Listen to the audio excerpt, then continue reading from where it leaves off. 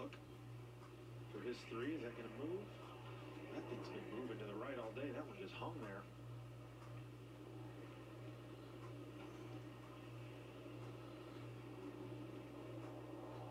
This young man's been making strides ever since the age of 18 as a freshman at Stanford. Just gotten incrementally better every year with his golf game. Oh, Oh, my whoa. goodness. Whoa.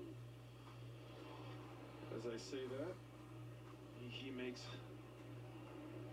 mistake you don't often see.